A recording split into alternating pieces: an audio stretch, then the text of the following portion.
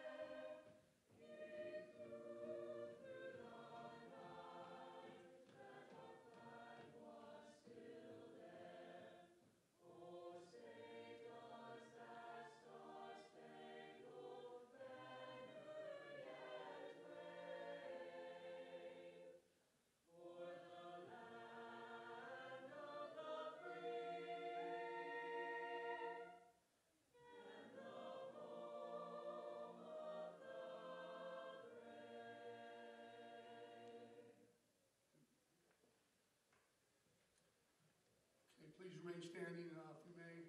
We're going to observe a moment of silence for all the POWs and MIAs, the missing men and women. Um, Please take this moment uh, in silence, please.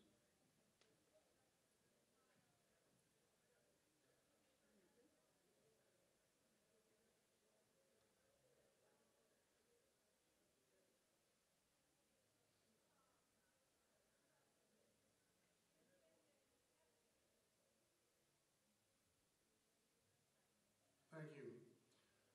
Uh, Would all veterans who served in the military in the audience please stand? All the veterans in the audience that served the military and served their country. We, the panel, panelists, the committee, would like to take this opportunity to thank you for your service. Uh, It's very important that we acknowledge the service that you've given to our country, and we want to honor you tonight also for serving our country. Thank you.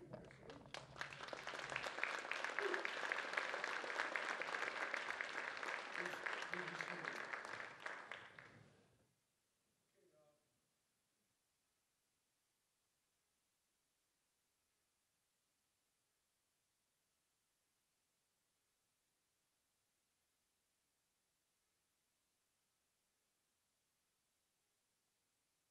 Okay, uh, in I-4 Quang Province, and I uh, also was at LZ Baldy and LZ Ross. I I was in Vietnam from September 69 to April 1st, 1971, just the other day.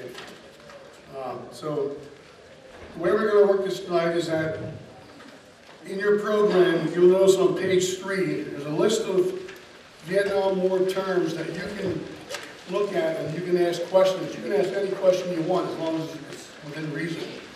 And we have two microphones, one on the left side in the aisle, one on the right side, and the ROTC cadets will bring it down and you raise your hand and uh, you can ask your question. And then I will direct your question to one of the panelists. Uh, they will take time and answer. There might be two or three answers. Because you have 13 gentlemen here who are boots on the ground, have various experience. You won't find any information that they tell you tonight in textbooks. This is oral history. They're going to tell you exactly what happened while they served in Vietnam. And it's a good experience and a learning experience for the community and for our youth of today to see what our veterans have done and are doing today. So I'm going to start with uh, Mr. Jim Ponce. If you'd stand up and uh, tell us about a little bit of brief history about his service. Ladies and gentlemen. My name is Jim Pons, and I was drafted by the Army in September of 1965. I received orders to go to Vietnam in July of 1966, and was assigned to the Fourth Air Cavalry Division. Our base camp was in An Khe, which, if you look on the map, uh, is right in the center of the country. Uh, I'm not sure I'm getting it exactly right, but it's right in this area. And the, uh, the entire time I was in Vietnam, my service was basically from the Cambodian border out to the Gulf of Tonkin, just up to an area around Da Nang. So pretty much this whole area right there referred to as the Central Highlands. I was an ammunition supply specialist, and I spent 10 months of my uh, one-year tour of duty in landing zones and forward landing zones, and occasionally the boondocks in Vietnam.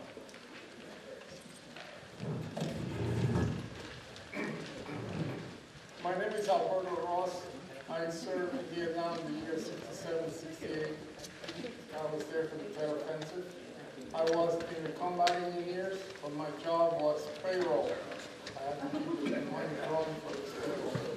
So that's what I did. I completed my whole year, and uh, I, the first seven months, I was in west of Qui Nhon, which is in the center.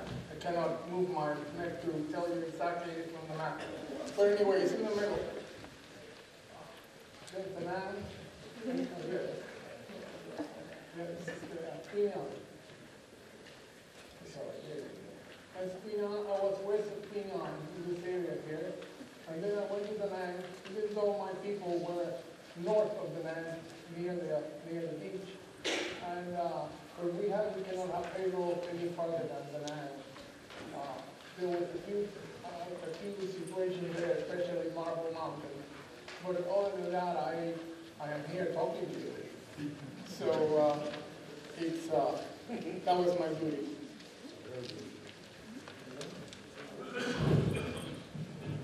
My name is Michael Lazaro. I served in Vietnam in 1968, 69, the 1st Cavalry Division. I was uh, what most of you would call a lifer. I spent 22 years in the Army. Uh, I was stationed...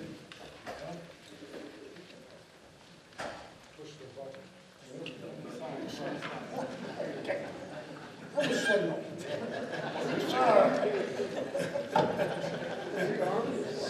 was stationed out there at a place called Camp Evans. It's about 30 miles below the DMZ for the first six months.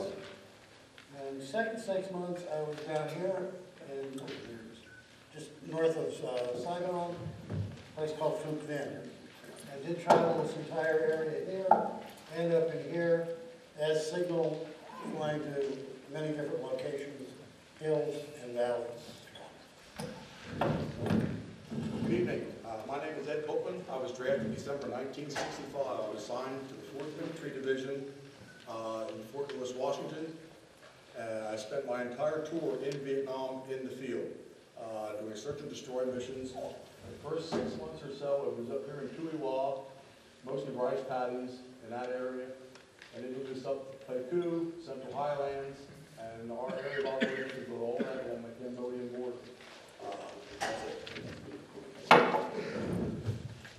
Hello, my name is Big Bob Chabot. When I was in Vietnam, I was Little Bob. I was with the 25th Infantry Division. I was awarded, I didn't win, I was awarded the Silver Star for gallantry in action, the Purple Heart for wounded in action, the Air Medal for flying 25, 25 combat assaults in 30 days, and the CIB for combat infantry badge. And I was, did my whole tour in a fire support basis at the end of the Ho Chi Minh Trail in what was called uh, the Ho- the Hobo Woods and the Renegade Woods, which is, I can't see the glasses on, the glasses off. But right in here is where we were the whole time we were there. And I just shared with another uh, comrade of mine that was at Bowl City when we had a ground attack, that um, a four-star admiral was there, right after our ground attack. Admiral John McCain Jr. With this little 300-men uh, base camp we were at. But he came out because his son was supposed to be uh, uh, handed over as a POW, which didn't happen for a couple of years after that. And I don't mind answering any questions. If I can't answer, I'll give it. My name's John Dobish. I was drafted May 14, 1968. Arrived in Vietnam December 3, 1968. assigned to the 9th Infantry Division down in the Mekong Delta. I was A Battery, 3rd of the 3rd, 3rd of the 34th Artillery. Was in fire direction control, where we plotted targets and calculated that information to send down to the guns so they knew which direction to fire. Was also with Charlie Company, 4th and 47th Infantry, on a forward, forward observer team. I was the radio man. I called in the artillery strikes. I coordinated with the Air Force Forward Air Controller on airstrikes. The 9th Division was the first unit pulled out of Vietnam. I left Vietnam August the 14th, 69. And both of those units I was with was part of the Mobile Riverine Force. Our primary area of operations is right down here below Meadtown. And I spent ninety percent of my time on the rivers. Good evening. My name is Bob Rubel. I'm a retired Command Master Chief. I served 30 years in the world's greatest Navy. Yeah. Wow. Yeah. I served 15 months in Vietnam, assigned to the Naval Support Activity Da Nang, and I was the skipper of an attack cargo uh, vessel that ran the Perfume River to the Hue City and the Cua Viet River to the city of Dong Ha, which was uh, a very dangerous place to be two miles south of the DMZ. Tonight, you will hear several terms. You all know of the Battle of the Bulge. When you hear Tet, Tet Offensive was our Battle of the Bulge. That's when we got caught with our pants down and we were almost overrun throughout the entire South. But we managed to come back and whip their family. Also, I took 17 men over. I brought 16 back to their loved ones, and I'm very, very proud of that. And thank you for having us here tonight. Hello, my name is Mike Kaminsky. I enlisted in the Navy in 1967 to avoid the draft. In 1969, I was on a spy ship which got scrapped, and I put what they call a dream sheet. I then volunteered to go over to Vietnam, and I was what they call brown water Navy. We would actually go up the rivers. Now, I was on an LST reclassified as an assault patrol craft tender. And what we did, our primary job was to take care and repair PBR that were little riverboats that actually went up the rivers. And also we serviced, and we didn't repair, but we serviced, refueled Huey gunships. Um, the ship was turned over to the South Vietnamese Navy in October of 1970. My main job on that ship was I was a second-class engineman and also fuel oil, fuel oil and water cable. We mainly held out in the Mekong River, and last month, we were over at a place called San On Dock, and from there, we went to Guam to turn the ship over. And thank you for having us in your school. My name's Cliff Shank. I was in the Navy We were in Camp Tien Sha in Da Nang. Uh, and I'm surprised I didn't know him. I worked on the diesel engines, was an engineman over there on boats, river boats.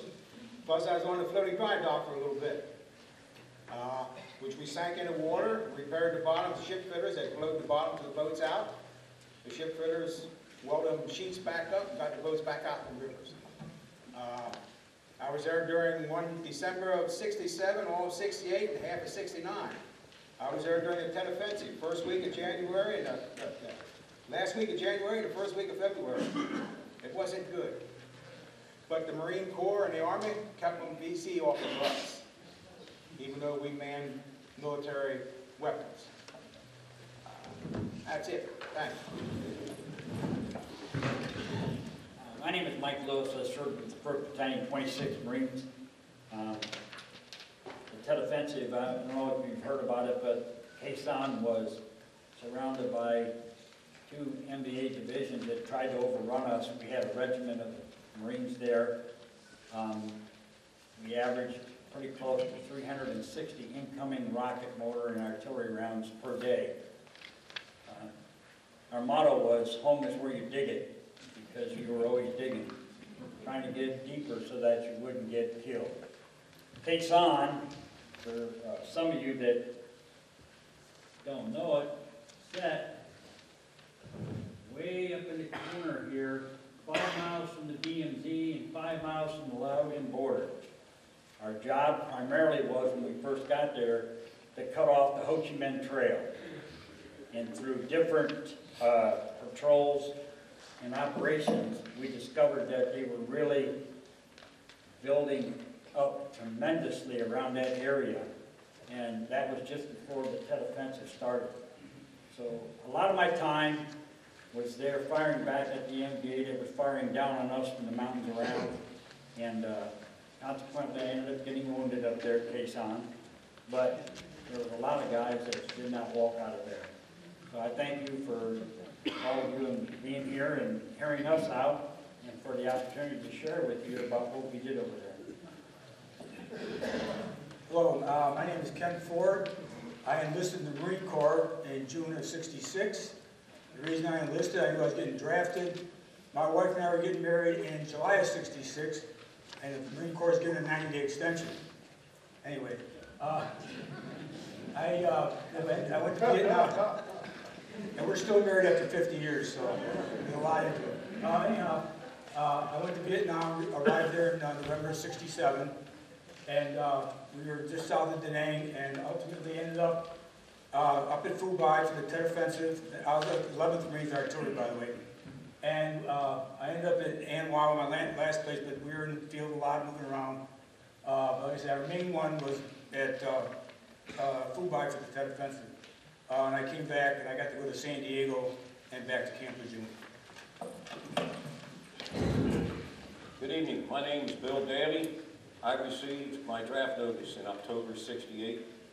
Decided uh, Army, Marine Corps was not for me, so I enlisted in the Air Force. Decided I liked it and spent a 26-year career in the United States Air Force, retiring with the rank E8 Senior Master Sergeant. During my extended tour in Southeast Asia, I was stationed at Korat, Thailand. Some people call that the country club. It was anything but and I was temporary duty at Tan Nhut Air Base on the military side of Saigon Airport. My assigned duties were crew chief, F-4 Phantom aircraft, and crew chief, F-111 aircraft. For you Navy and Marine vets out there, my job title would have been plane captain. I was also assigned crash recovery duty members. That, that was not a very pleasant uh, part of my uh, career. Thank you. Good evening, I'm Dick Mallory. I enlisted in the Air Force right after uh, high school. Spent two years in the States, got orders for Vietnam. Went over there for a year from 19, October 66 to October 67. I was a radio operator for a forward air control. Uh, We were stationed about 60 miles south of Pleiku on a MACV compound, military affiliate, military. Anyway, it's an advisory team. There's only 27 Americans there. Uh, We had uh, a battalion of South Vietnamese that was near us, and then three special forces came in our province. Our job was to go out and find the enemy and drop bombs. Um, I returned from Vietnam in October 67, spent a year out in California, um, Travis Air Force Base, and decided to get out of the Air Force when I found out I had orders to go back to Vietnam. Thank you. Okay, um, we take the two away this time.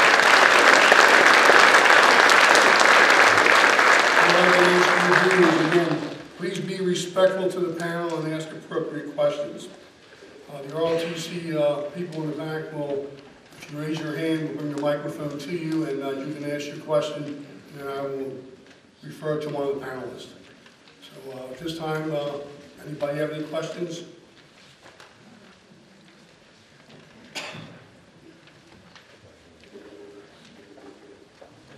your opinion, Use the microphone.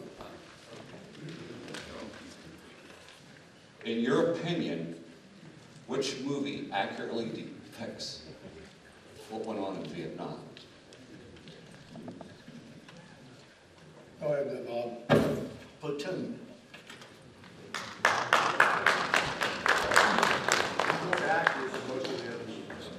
And, and when I say accurate too, the way, the way they talked, not so much all the stuff that they did, but the way they talked and acted, uh, was pretty real. Okay. uh, Anybody else want to answer that question? Um, I have to say Full Metal Jacket, that it was very, very true, and a lot of this, there's a few discrepancies in it, but Full Metal Jacket was, to me, very true.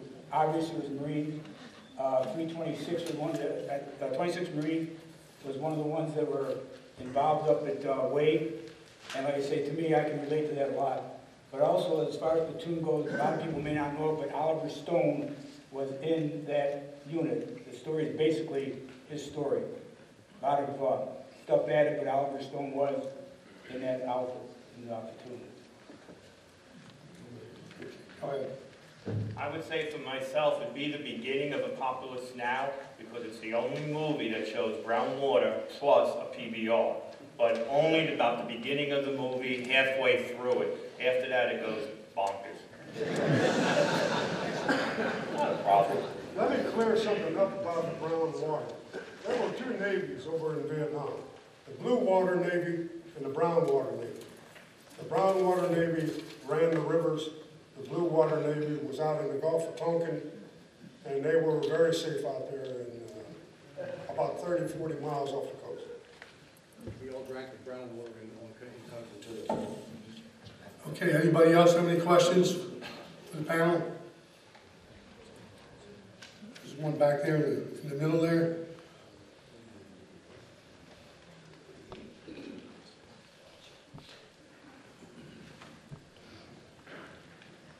Would you agree that the Blue Water Navy did do a lot of heavy gun support for ground troops? Absolutely, absolutely, sure did. Right? There was a lot of fire control, uh, heavy artillery, big guns Absolutely. that supported boots on the ground. Plus the F-4 Phantoms that my friend. Oh, the F-4s were fabulous. Yes, sir.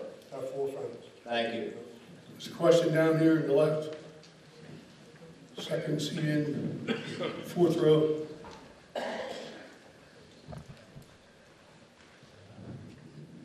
And This will go out to all of you, both drafted and volunteered. Would you guys do it again if you had the choice to do it all of them? Yes, indeed. We're old, we're old but not stupid. I mean, we, we look at these young guys back here in the camouflage uniforms. That was us 50 years ago. We were lean, mean, fighting machines.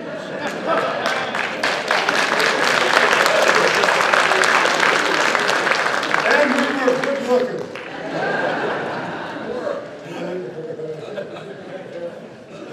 Any other questions out? There's one down here. Uh, Back there, go ahead. Back there, go ahead. I'd like to ask the Marines, are you as lean and mean, but you're still a Marine? Always a Marine. Mike, you want to answer that? Well, I don't have any hair. That, that there doesn't. Probably didn't have any food either. No, Yeah, you're right. Didn't hair, Ken. Ken, you want to answer that too? Ken Ford? Yeah, actually, uh, yeah, like I say, I, I, I still feel like, I know I'm obviously not in good shape that I was back then, but, yeah, like, like everybody else said, a heartbeat, I'd be, I'd go back. Like I say, I know we supposedly lost the war in Vietnam, which, is a pile of crap, but anyways, yeah. I still feel lean and mean. And I'll answer that too, because I was a Marine, yes. Uh, Although my body tells me I'm not as lean and mean as I used to be, but mentally I'm still lean and mean and I still follow the precepts of the Marine Corps. So uh, I, uh, I thank God every day that I'm here and I have my health. The only problem that I have, and many of these gentlemen will probably say they have, is we have a problem with Agent Orange. That's one of the problems that we have today, and uh, a lot of veterans are paying the price for that. Question down here, we had right here. Yes. Uh, What do you think was the big effect of the war being lost in the sense that the, the newspaper Asian companies really did us off, really did us in, because we won the battles, but they wouldn't let us win the wars. Wouldn't you, do you feel that's true? Um, Ed, go ahead, Ed. Uh, Personally, I don't think the media, media had a lot to do with it. I mean, a lot of stuff they report on television, you go home and like watch television. I, I don't remember when I come home and was home a couple of days and watching television one night, turned on the news and there it was. Like, I, I just come home and, and there's stuff, you know, and they always show the negative stuff. Uh, they could have done a better job of reporting, and I think they do that now to a point. Uh, but personally, in my opinion, I don't, I, I, the, the government is the ones that scoop the pooch. They, they, you know, Ken? Yeah, uh, I'll throw a question back at you generally. Anybody ever heard of the My massacre? Okay, the Vietnam War basically was based on the massacre at My Lai. The uh, media played it up, and that's all we did over there was shoot people indiscriminately, just for the fun of it. And that's that's basically what, what went on for all the time we were over there. Not even slightly true, but that's what the media that told people. Uh, body count, they always wanted body count. But yeah, like I say, My Lai, I always thought My Lai was the basis for the Vietnam War, sadly. It's not even a little bit true. They didn't show yous that we were playing games with the kids over there. Exactly. In fact, somebody did mention Platoon. There's a scene in Platoon where they go into the village, and if you watch it, the way it looks like they go in there just for the hell of it and eliminate the village. Okay, they do, I know they killed the one guy, the one papa-san because he wouldn't respond, but if you pay real close attention, you'll see them carrying the kids out and whatever of the other villagers, and they did destroy the village for one reason. There's an awful chance, an outside chance that the enemy was still there, had been there, or will come back. And by destroying the village, their food, you're destroying a base for them to come back to. Okay, uh, Jim Ponce wants to answer the question, then John Dobish. I think there was so much politics in the war. Um, unfortunately, I, I can remember one incident that occurred at a, a, uh, a landing zone we were at up in the Highlands. And one night we were mortared and quite a few mortars came in and um, ended up with three men being killed and 30 men being injured. And I remember them, we were trying to figure out why we weren't shooting back. Our artillery and mortars were not firing back. And it was because orders came down from higher up that we were not to return fire because the rounds coming in were coming from a close friendly village. That was the kind of stuff that the games that were played over there by our government. And um, it, it still makes me mad today that, to know that all those men were, were killed and injured and we were not allowed to defend ourselves. John? Uh, Like Jim said, the politicians had a lot to do with it. And uh, one example, of the political aspect of it, I was firing artillery one day, blowing up a uh, bunker complex. And I got called back, I got shut off from the artillery. They said, unless I have a confirmed target, I can't shoot any more artillery. The only way I could get more artillery that day was if we were in contact.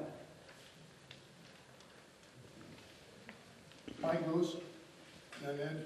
A lot of people don't um, know that toward the end of the Vietnam War, the North Vietnamese, North Vietnamese were close to surrendering to the United States. And the general for the North Vietnamese Army said this years later, and you'll find it that they stopped the bombing of North Vietnam, and they were so close to surrendering, his statement was, 10 more days and we would have had to surrender. So we were 10 days from actually having the North Vietnamese surrender in that war. But because of some decisions that were made in the United States, and um, there was McNamara and a couple others who were afraid that the Russians were going to get involved, so they stopped the bombing in North Vietnam. And when that happened, that gave new life to the North Vietnamese. So people say you lost that war. We didn't lose it. The politicians lost it for us. Yeah. We didn't, we didn't lose that war. It was those that were above us that didn't continue to fight the thing the way they should have fought it. Uh, we get our orders in the morning, we wake up, pack your stuff up, sergeant will get down to the command post, get the orders for the day, we're going, to show us a map, we're going from here to here. Okay, no big deal. You, if you see, see the enemy or see anything that doesn't look right, do not fire. We spotted a, a patrol one, late one evening, walking across the rice paddy. We knew they were carrying weapons, food, couldn't fire at. Now, if they would have fired us, we could return fire.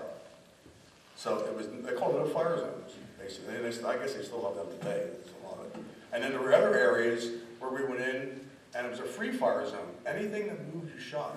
Uh, I don't understand the rationale behind that, but my only kill in Vietnam was a water buffalo. Just, just- just to uh, reiterate what he's saying there, uh, I was with Mike 37, and I know many times, uh, if we saw enemy running across the rice paddies, the first question they asked us from the rear was, are they wearing black pajamas? Do they have weapons? Can you see it? Before you were allowed to shoot. So you just couldn't shoot out there. Now, a free fire zone was a different story. Anything that walked or moved in there, you could shoot. And uh, that did happen a lot of times. So uh, very different uh, ideas of how the war was fought. fought. And I know we as, as, as troops, we kept asking questions, why don't they give us the authority to do the things we need to do to win? And it didn't happen that way. Any other questions? Down here's one. And then we'll, you, you asked before, right? The guy in the black hat right there, he's right there. Hi, this is probably for all of you, but basically, uh, maybe Mike Lewis and Bob Chavez, um, since you were in close order combat, we know for sure one was wounded, one had a silver star. Um, What method or how did you overcome your fear in battle? Yeah. I'm still, I'm still dealing with it. Um, I see a uh, therapist every six weeks to two months. And, uh, you know, I learned how to live with it. And, um, I just, de- I deal with it. You don't forget something like that. This is part of the therapy. This helps a lot of guys. A lot of guys, it it doesn't, but some of us, it helps. This does help me. Mike Lewis? Talking about it does help me. I, I feel, I feel very fortunate from the standpoint that PTSD probably has not affected me as much as it has others, even though certain sounds, certain smells will all of a sudden trigger something in your mind, and all of a sudden, a rush comes back. And um, it's hard to forget when you've seen somebody that was killed just a few feet from you. It's not anything that leaves your mind ever. I walked, I was walking down the trench line up there at Khe Sanh and we started getting incoming. I walked right past a guy who was shaving. Okay? I went probably 30 yards down and when I came back, here this guy in water around landed in his shaving gear and took his head off. And I said good morning to him not more than 10 minutes before that. So you don't forget that stuff. You, you, try to put it in the back of your mind and not let it affect you. But I, I really thank the good Lord that he's helped me. I know there's a lot of guys that it's been really tough on. Let me, let me uh, give a little experience of what I had. Right now, I'm rated seventy percent post-traumatic stress syndrome with the VA. When I got out of the military, I went to Millersville University. I was a graduate of Millersville here. Uh, Back in 1973, I had some problems, and I ended up in the VA hospital in Lebanon. I was in a locked ward for 56 days. Back then, they put you on, the, the drug of choice was Thorazine. And um, what happened was after 56 days, they left me out, but they gave me a diagnosis of passive aggressive personality with explosive tendencies. Now they call it post-traumatic stress syndrome.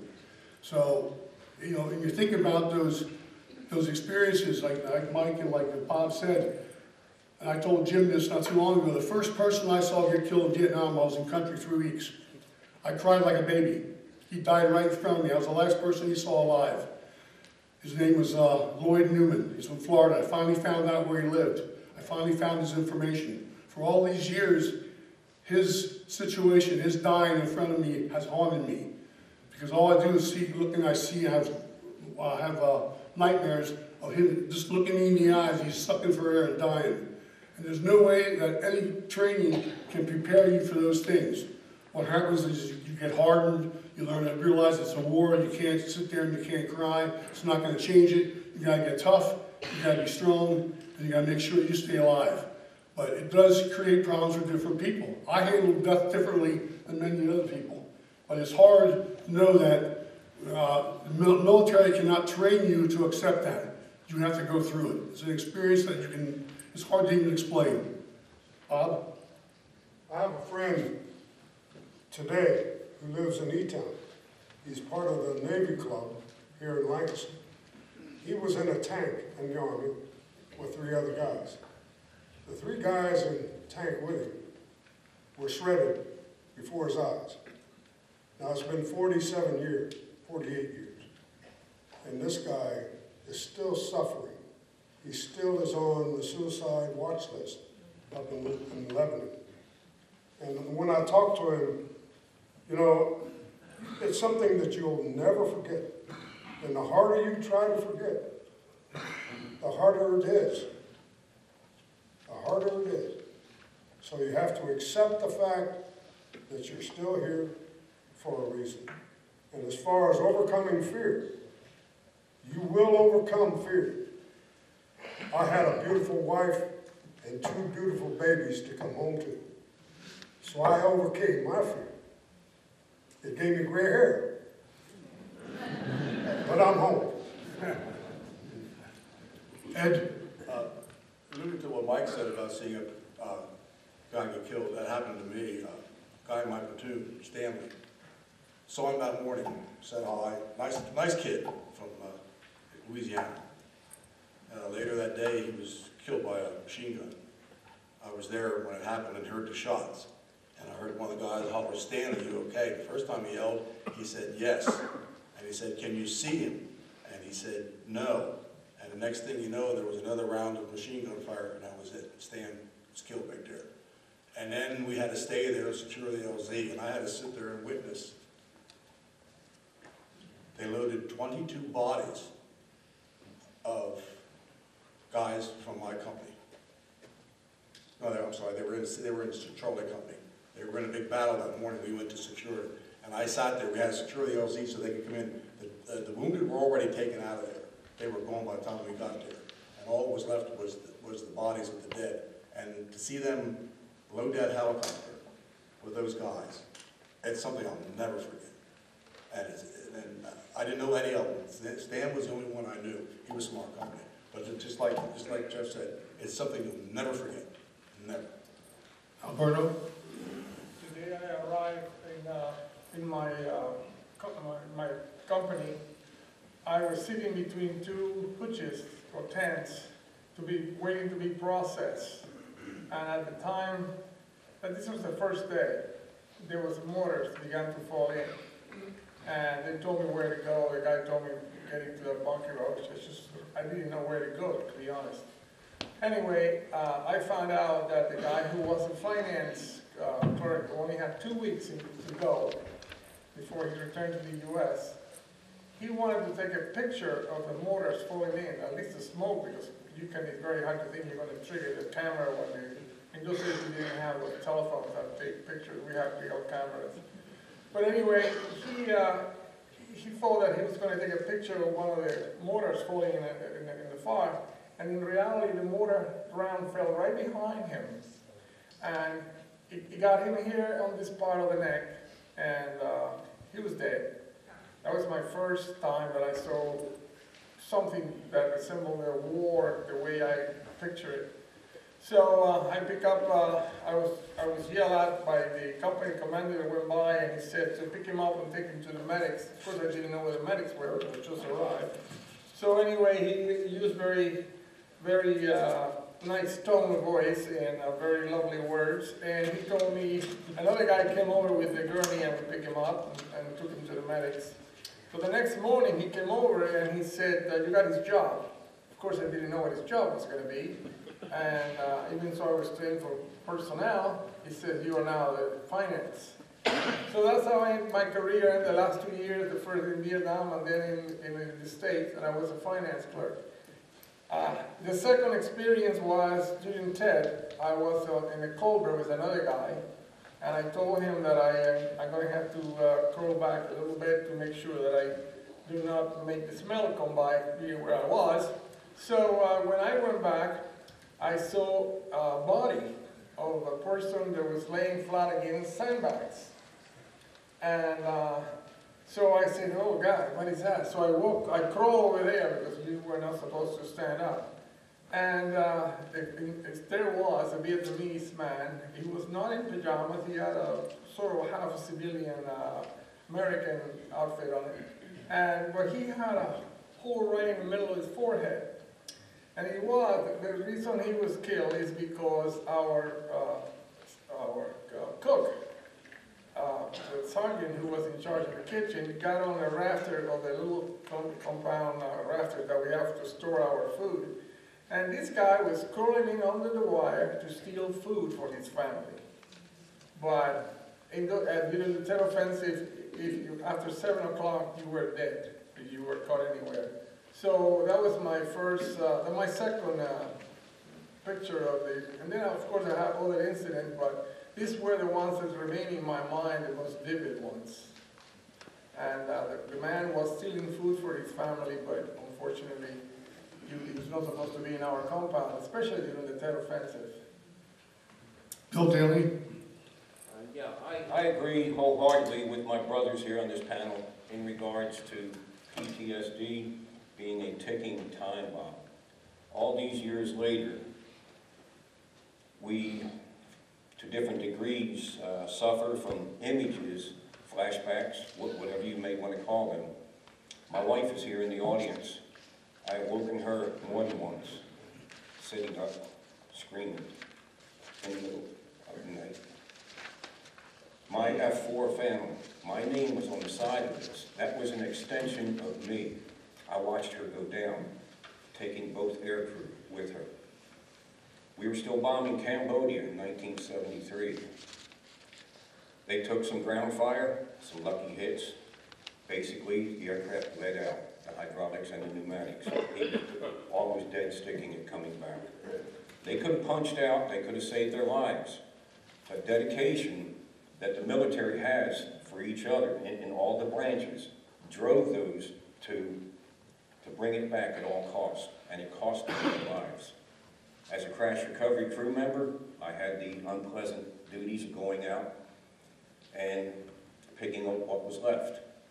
I was the one that came upon the largest piece of identifiable human flesh. It was a boot with a leg bone still sticking out of it. I still see that. Okay, go ahead. Never take your freedom for granted. I work with a Army Vietnamese captain. When the war was supposedly over, he left to come over here to the United States. He had his baby in his arms. The VC killed the baby. He come over here with not that baby no more. I asked him, I said, would you go back to Vietnam? He said, I can't. He said, if I go back to Vietnam, they would kill me. So even now the war is over, they would still kill him because of what he did. Okay, uh, we have a question now. Go, go ahead. Get the microphone.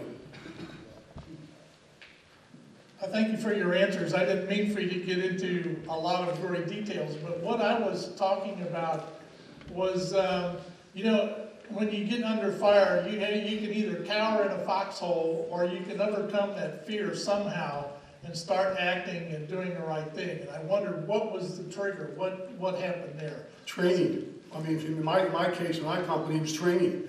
We didn't have time to think. You didn't think about what you, how you should act, you just acted, because you were trained a certain way. So you overcame your fear that way. If you started to think, that's when you got killed. That's when you got in trouble. Because the way he trained you to do certain things in certain situations. And by thinking, we, I'm a teacher, we tell people you gotta think. Well, in combat, thinking doesn't get it. Thinking gets you killed. You gotta act the way you were trained. Ed? He's right. Uh, you don't have, people, a lot of, uh, we do high schools similar to this, and a lot of kids ask you, you know, were you scared? You don't have time to be scared. You're scared after the fact, you know, and it was a lot of years after the fact, oh, why did I do that? We stopped for lunch one day, everybody took their backpacks off, set up a perimeter, sitting around, having a good time, eating our lunch. Shirts off, catching the rays, having a good time. Next thing you know, gunfire from the other side of the perimeter. So everybody grabs their helmets and tries to find a place to hide. We were obviously out in the open, no place to hide. We didn't, we didn't even dig a hole, we were only gonna be there 15, 20 minutes. And the rounds were flying around, and the guys were yelling and hollering. But everything was in the back of us, they said, keep looking out that way, because we didn't know how many there were, if it was a squad, if it was a company, if it was a battalion, we didn't know. Uh, And we were all looking out this way, and two guys down from me was a guy in our squad with a machine gun. And he was supposed to have a, a, a machine gunner, has him, and then he has a, a guy with him that carries a lot of the rounds. For some reason or another, he was over there. How he got separated from the machine gun, I don't know. So somebody hollered for the machine gun, set the machine gun up, and he said, he said, where's the ammo? So I looked down, and there it was, down over there. So I just crawled down and grabbed one of those big long bandoliers like John Wayne carries or Rambo, and drug it up to where the machine gun was. And as I'm doing this, the the ground was little pings, across it, and it was, there were, it was rounds that were shot. They, they, they overshot the main part of the company that they were firing at. And then I just took the rounds and then went back to my position. It was over in fifteen minutes. When they, when they went, in- when they went in to clear it, they didn't find anything. But it must have been, it must have been a big, one because they were really fired, and they were hollering and yelling. So they were in head. They had been, I don't think they were being calm. They don't yell like that. Mike Lewis?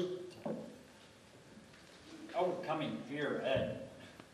There was one thing, one fear that I never overcame when I was over there. And we were getting, um, heavy incoming. We went into the bunker and we told everybody to get out of the bunker, get into the trench, because it was a safer place to be. Your odds were a lot higher if you were in the trench rather than in a bunker one of the guys in, it was in my squad, uh, that was asleep in there, when I shook him and told him to get out, he didn't get out right away. Artillery round went into that bunker. And I went back in afterwards and, um, feeling around in there, trying to find him, and I put my hand in his neck. And I never overcame that fear. I never went into another bunker to see who was in there after that.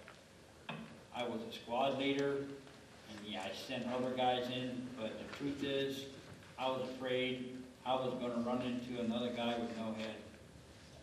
So, that was one thing that I was not able to overcome. There's it, it just happened to be that, um, this guy was, a- he was, he was new over there. He wasn't there very long. He was one of the newbies. But he didn't get out of that rack and get out in the trench like he was instructed. So you try to say to yourself, well, he didn't do what I told him to do. That's not, that, that still doesn't justify the fact that you have a fear of that happening again and again.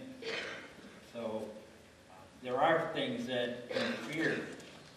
If you don't fear something, then you're a fool, okay? You can say, if you can sit up here and tell me that you didn't fear something, then you're the fool, because I tell you what, there are things you should fear. Okay, we're gonna move on now. We could talk about this for days probably. Uh, let's move on to another question. Uh, I was Vietnam Navy, uh, like, uh, Blue Water. Anyway, a crash course in history. A long time ago, someone tried to make us a part of the British Empire. We didn't like that.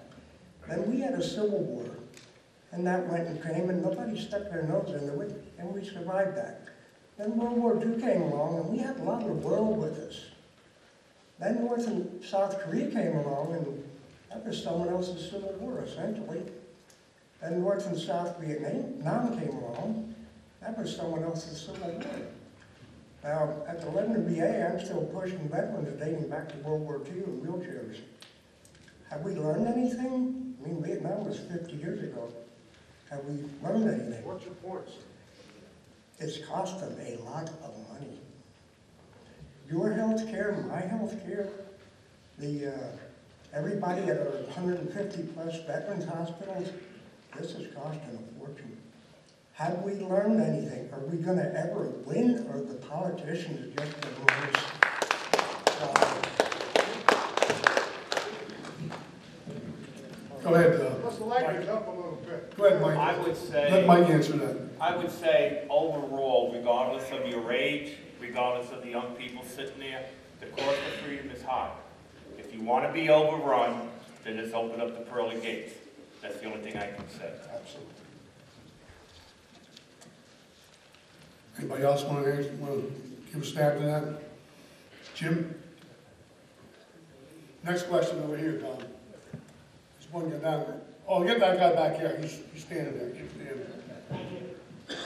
As a Vietnam veteran myself and 29 months in Vietnam, first of all, I'd like to thank the panel for what you're doing here tonight. Second, I'd like to ask you a question. Uh, coming home from Vietnam, which we all did in the 60s, you wonder the way we were accepted. Do you find today the same disagreement in the United States, the way things are today compared to some of the servicemen coming home? Like you have actors, you have people talking about we should get out, we should go here and there. Do you find when Hanoi Jane was over in Hanoi, do you find actors today doing the same identical thing? Go ahead, Ed. I've often said this in a lot of the schools. The only good thing that came out of the Vietnam War was the way that the guys are treated today. These committees, these guys that goes to the airports and welcome these guys home.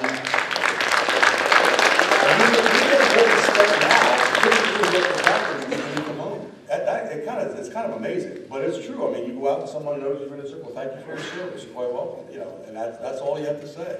But that, that's just the way, you know, and coming home was rough. It wasn't for me, I didn't have it too bad coming home. I came home early. I was, well, not early, but I was over 66, 67. And the guys that came home in the seventies, they're the ones that caught all the crap. Bill- Bill Being spit on at the airport and things like that, uh, the protests and things, but I, I didn't physically myself witness any of that. But that's the only thing good coming to these guys today. Uh, and I have, I have the most respect for anybody who wears a uniform. Doesn't matter what branch. Bill? Except Marines. National organization, Vietnam Vets of America has a motto, and that motto is, "Never again will one generation of veterans abandon another." Now, they say World War II veterans, they were the greatest generation. Yes, their war was on a larger scale than ours, but they turned their backs on us. Our fathers, as a generation, and the nation turned their backs on us. Now, you can forgive. I'm a Christian man. I can forgive, but I can't forget. When I came home, my baggage was misplaced. I had to run the gauntlet at Philadelphia International Airport in uniform. Two things happened to me as an adult. I came up the steps from the tarmac, because they, they wouldn't even open up one of them gates for us. We- We had to walk in. Second-class citizens. Somebody spat down on me. Hmm. It landed on the toe of my highly polished service dress shoe. When I got to the top of the steps, the second thing happened to me for the first time as an adult. My father, a World War II ball turret gunner on the B-17, hugged and kissed me. He was not a very emotional man. You would say he suffered from PTSD, but it wasn't called that back then. So yes, the veterans today, they, they do have a better homecoming, and so they should. And we respect each and every one of them. Thank you. Okay, next question. Over here, please. Over here, go ahead. Thank you. When I went in in 1980, one of the things that I was taught when I was learning to fire the laws um, was to destroy the weapon completely. Did you, on the panel, have any problems with that, uh, with VC using, reusing stuff that wasn't supposed to supposedly ever be reused again, and/or using it for um, uh, traps, you know, that you would, you would find in the, the woods supposedly? Rubel. I had a uh, number of laws on my craft running the rivers. We did farm, and when we'd farm, we'd taken crackle over the railing of the railing on the, on the craft to make sure that they were cracked and could not be used again. Now, the VC were very ingenious, very good with their hands. They could, they could put a bomb in a pack of cigarettes and float it down the river to blow up one of the craft that was going up the river. Very ingenious, so that's why he tried to destroy everything that you had used. Bob Chabot. Yeah, I was gonna say that the, um, you know, I was out in the field, so whenever we used the law, an- anything that we used, we carried back to our base camp and we burned it. And, uh, because, once again, they, the uh, Vietnamese could make all kinds of stuff, and they did all kinds of booby traps. So, uh, we were very conscious of that, and like I said, we carried it back and we burned a lot of it. In fact, all of it we could, and we never left nothing out there in the bush. Now, I take uh, the radio, I change the radio battery every morning, and I, that old battery I took out, I break it up into pieces and throw it in the water, whether it be a ditch or a canal or whatever. Because they, they can take that used battery and uh, use it to set off a booby trap. Alberto. Yes, well, I was in, uh, in Da Nang at the, at the finance, we still had to go and pull guard, and the guard was near Marble Mountain. And my, I, I had myself, I was the, uh, the leader, and I had four other men. And, uh, we found out the morning after, there was a battle of Marble Mountain, there was uh, seven people were killed there, seven of us were killed there. And I do remember that, uh, I said to, uh, to this uh, uh, sergeant who was coming down from wherever they were, they were in a patrol, and he said, do you guys uh, watch the wire? And I said, what wire? There's nothing wrong with the wire. The, the, the Viet Cong had uh, made tunnels underneath the wire to go into our, into, to this depot where we have all kinds of junk, because they had, they had uh, broken uh, trucks, they had uh, cannon tubes, they had everything. And they used the metal to fabricate uh, bombs and uh, cross uh, bodily harm them, whatever they used.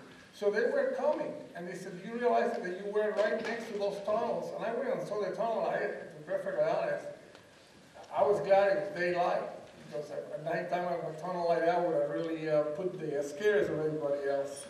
So uh, that's how way they did. They, they dug a tunnel to steal the metal to fabricate explosive, explosive bombs. We blew the tunnels that's after that. A lot of the, uh, booby traps that they used to use, and they do today, it's the same thing. They use unexploded bombs, artillery shells, mortar. They just reuse them. They're brave because the fuses are ready to go on a lot of it. Even, even C ration cans, they always told us to All the smash sea your ration cans. cans they used. C ration cans are always crushed. Crushing the beer. They would put a grenade inside, pull a pin on a grenade, stick it inside a can, and then run a wire across the trail. That happened to us one day. And luckily, the guy in the front stepped over it. He didn't see it, but the guy behind him did. And that's what it was. It was a C ration can, which probably isn't any bigger than this cup. And the, the end was off of it. They had some leaves on top of it and stuck a hand grenade in there and then attached a wire to it. So if he would have tripped up the first couple of guys, they would've- they they would have got him. But that's what they told us, don't leave anything around, around. They would use everything. Okay, another question, please? Who's, who's next? This lady down here? Yeah, Down here.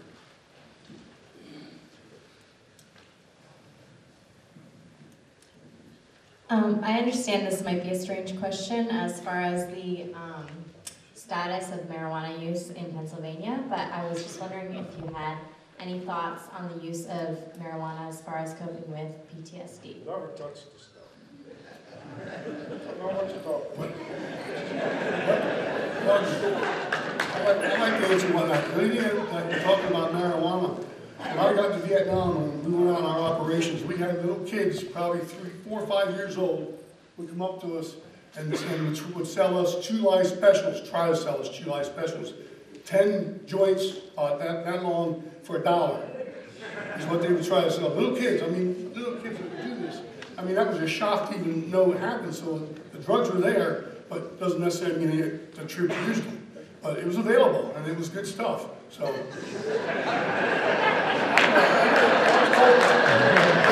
I was told that. You went to the, uh, you went to the, command post down in Qui Nhon to get our more records for the people who were coming in. And children would come to the truck and they would have a plastic bag and they said, a hundred reefer- reefers, ten dollars. Mama-san said, ten dollar reefer. And marijuana was, you can, you can buy it anywhere. But to be perfectly honest, uh, I only have one incident with one fellow in my, in my group who decided he was gonna smoke marijuana in my tent.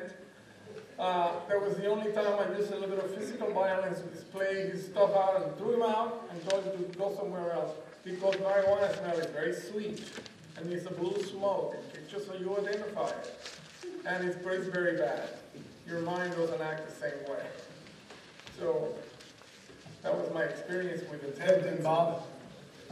Well, I was out in the bush, and, and by the way, everybody's got a different story up here. Um, Because it depends on where you were at and, uh, you know, location. I was in, out in the bush, right at the end of the Ho Chi Minh Trail. And there was three hundred of us. And we didn't do no drugs, because our lives depended on it. And were the drugs there? Yes. You know, you could buy a, a, a pack of, uh, I think it was Cools, but they actually took the, um, uh, cigarette tobacco out and they put the marijuana in it. They also sold you a little tube of opium for like two dollars. But we, we didn't use that stuff. You know, our, our lives depended on it. So uh, even in the movie Platoon, they showed them, you know, smoking all that marijuana and all that. We didn't do that. You know, sometimes when you went back in the rear, some of the guys did, but uh, I would say eighty percent of us never, never touched any marijuana when we were over there. Now, maybe when we got back, I didn't, but some of the guys uh, did. I, I talked to them often, we had a reunion, and some of the guys got messed up on drugs after we got back. And I can kind of understand it, you know, uh, you know, dealing with post-traumatic stress and, uh, you know, just things were tough over there when we were there. Ed Bookman? Uh, Yeah, just like what Bob had said, uh, we, we get that asked a lot of the high schools, uh, about the drug problem. Yes, there was a drug problem, and it depends on where you were, the time you were there, et cetera. Like Bob said, the guys back in the base camps and, and the big air bases and et cetera, they had, some of them had jobs. They worked like from nine to five, eight, whatever. But when you're out in the field, you know, twenty-four seven, you can't be messed up. Uh, It happened, I mean, I mean, there were a few times when I was witnessed it, but uh, we were on downtime, but still, you, you, you gotta keep your head about it, because like you alluded to earlier, you know, something happens and you don't know what to do right away, you're going. Okay, next question, uh, anybody else? There's a soldier back there in the back who's trying to ask a question. Hi, Dad, give him the microphone. Hey, I wanted to ask if anybody had been back to Vietnam recently and visited. No, but, but, but I know, I've talked to people who have gone back and said, we'd be surprised to see how built up it was.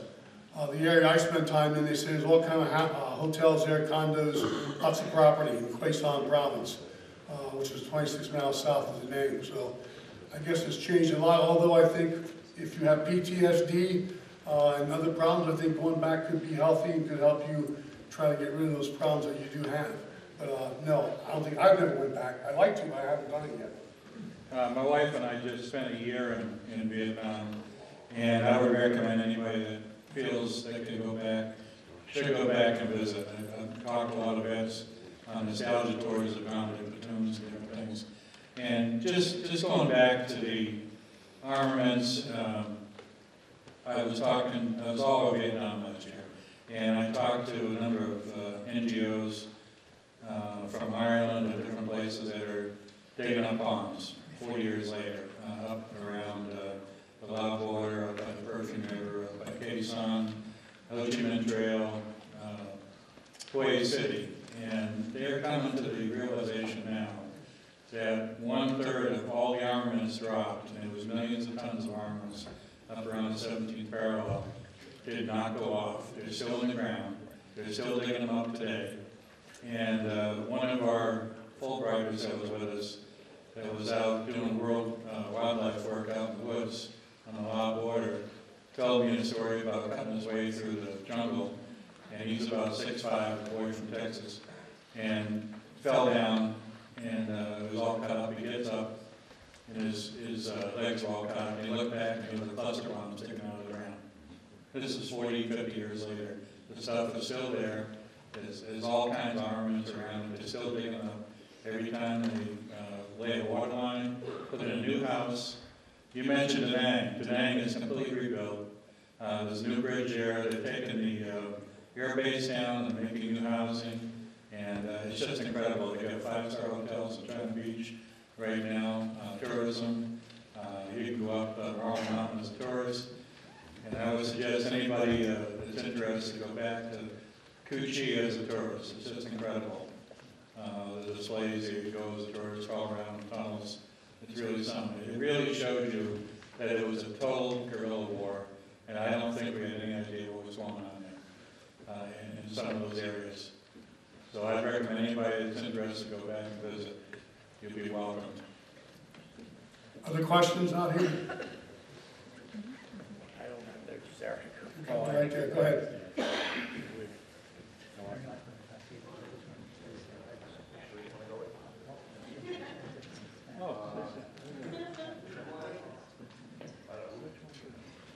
Was gonna say, um, all of your number one GIs, but you haven't told the people you're all dinky dau. Um,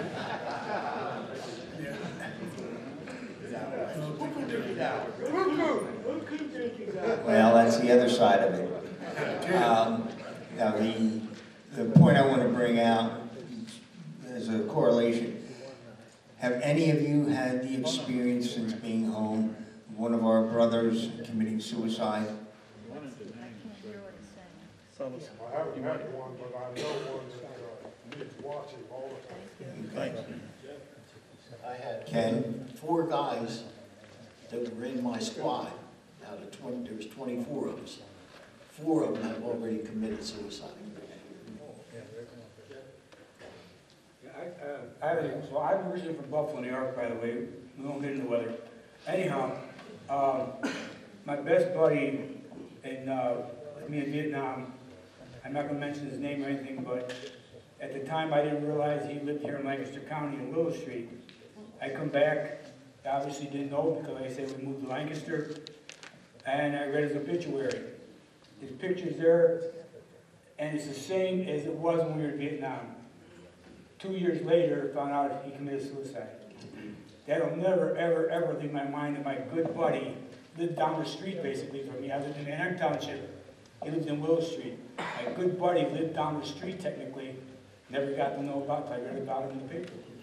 And that, it always bothered me. Want to talk about PTSD.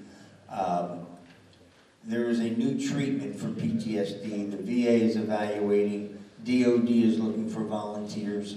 It has an over 60% cure rate. And uh, if anybody's interested, I'll gladly send them the, the video. and show you what goes on.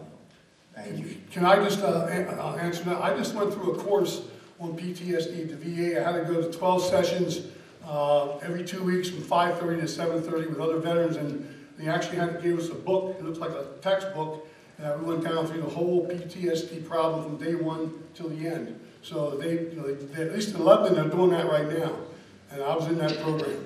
They're still getting on drugs and not getting Didn't give me any drugs for it.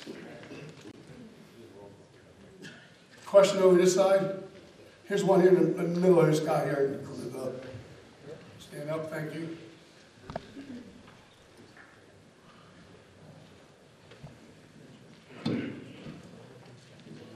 Thanks, everyone, for being here. Appreciate it very much. Uh, I was in Vietnam for 359 days, 17 and a half hours. March 67, March 60. Well, I wasn't counting. Uh, I had a special kind of watch. Anyway, uh, and I arrived in Phu Bai on January 28, 1968, so you'll know what, uh, well, I didn't know what I was expecting.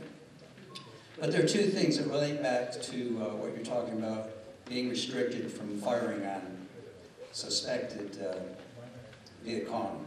Those are the rules of engagement, and unfortunately, and related to a question asked earlier about whether we've learned anything, uh, from a visit I made to Walter Reed uh, two or three years ago, talking to wounded vets, a couple from Afghanistan, they were complaining about rules of engagements there that restricted them from firing when they knew they were at threat and at risk because not until they were fired upon could they return fire. So I'm not sure if I have a question or a statement, but I wonder to myself, when are we going to stop restricting our soldiers by these lawyer-developed rules of engagement? Before you answer, I have one other point. I'm reading the Vietnam. I'm sorry? You're preaching to the choir. Yeah, I know, yeah. Answer, uh, I have, I want to say something about the terms, Vietnam War terms. There's a term not on here that meant a great deal to me, something that I became intimately familiar with very much. And I want to get your reaction to this. Ba Muoi Ba. Say again? Ba Muoi Ba? Thirty-three, thirty-three. Yeah, that's not on here. Well, that list, you could, that could be pages and pages. Well, we did take some names off there. We did take some off. Yeah, that was it. That's one I knew very well.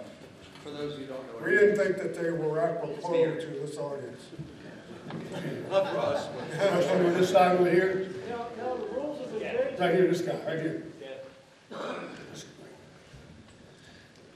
Yes, uh, great to be here just after the Korean War. Uh, Looking at all these amazing buttons, and of course, a lot of them are anti-Vietnam War buttons. I love the anti-Jane Fonda buttons, by the way. Uh, My my question is, when you were over there fighting and dying, were you aware of all the protesting that was going on against the war here in America? And if you were aware of it, did it affect morale? Yeah, you wasn't aware of it because, uh, Stars and Stripes, it was more or less censored. They only wanted you to print what they wanted you to hear. And Armed Forces Radio was censored. You, you knew there was some going on, but you really didn't know the extent of it. Well, Everything that we received through Armed Forces Radio was filtered. Now, we did get uh, Stars and Stripes newspaper, and that also was filtered. We didn't know about the real protests going on, how the country was divided, until we made that return flight, and we landed, most of us, in San Francisco, where all that BS started. We still haven't forgotten it, and never will. Seen- if anybody has seen the movie Good Morning Vietnam with Robin Williams, that's true. When it would head in that sheet of the news and all the stuff was blacked out, and they, they blacked stuff out. And like you said, the Stars and Stripes, the little newspapers we would get occasionally, it was the same way. I never knew anything about the protest. Really, That- that's, that's interesting, because in my unit, uh, whenever there was a protest back in the United States, we'd get hit. In other words, the enemy would hit us, and somebody would get injured or somebody get killed. I mean, I was there, uh, August, September 69 to uh, April 71. And uh, we got hit a lot of times, and we, we found out about the protest, and they, they knew it too. And whenever there's a protest, that's when they like hit us. So we got that. I mean, it was a, it was a bad feeling about protesters. I mean, it put a bad taste in your mouth, thinking that, not that they didn't have a right to protest, but they, I don't think they realized what they were doing to the troops in Vietnam. It was harming us, the individual soldier on the ground. Yeah, the, the guys a little later, like you said, about the homecoming, that, that, that happened to a lot of guys that come home, like you said, 69, 70, et cetera. Well, I come home at 67 and wasn't aware of any of that. And like you said, the little newspaper we got once in a, we get mail maybe once a week, and every now and then you get a paper which had to hand it around, and not everybody got a Stars and Stripes. But it was all, it was all happy news, you know, the weather back home, the baseball scores, yada, yada, yada. And there was a picture, the picture in there one time of a girl in Asia. And I said, excuse me? You know, and I, I, I could, but I said, yeah, the girls are wearing this. And then when I got home and landed in, in Oakland, and after I was on the way to the, after I was through processing, on the way to the airport in the terminal, there was a girl in this, I just can't believe it. I've been scarred for life. One of, one of the- the many hats I wore over there was mail clerk. Everybody loved me. Uh, A lot of the guys get hometown newspapers, big bundles like this. They were fun to carry in the mail bags. Uh, We got a little bit of news from that. A lot of hometown newspapers, like, I was originally from uh, Canoga Park, California, San Fernando Valley. We had the Valley Green Sheet. We got a lot of news about LA and what was going on in the valley. Uh, My sister would send it to me every once in a while. But there wasn't a lot printed in the papers about demonstrations. Even the people getting the LA Times and the New York Times and things like that. Uh, We didn't know the full extent of it until we got back. We just, we had a little inkling. When Kent State happened, I was at Fort Hood, Texas, and I got out three days after that. But when Kent State happened, a lot of the feelings down at Fort Hood, Texas was, good, that'll teach them. That's how the soldiers down there felt about the demonstration. You want to ask, what, what do you want to add to that? What's your, Well, we all went there, we took an oath to uphold the Constitution of the United States. You raise your hand. But then you, uh, when we all went in, we took an oath to uphold the US Constitution. But when you talk about getting your newspapers censored and things like that, that kind of goes against the grain of the United States Constitution, doesn't it? We weren't in control.